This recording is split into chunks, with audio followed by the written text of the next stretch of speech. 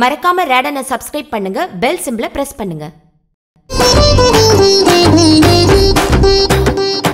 இலைப்பு இருமல் நீங்க விஷ்ணு கிருந்தி பொடியை வெந்நீரில் கலந்து சாப்பிட்டு வந்தீங்கன்னா இலைப்பு நீங்கும். நீங்கள் வாணியை பார்க்குறீங்க ராணியை பார்க்குறீங்க இந்த வாணி ராணி மட்டும் பார்த்துட்டு நீங்கள் போயிடக்கூடாது. ஆ?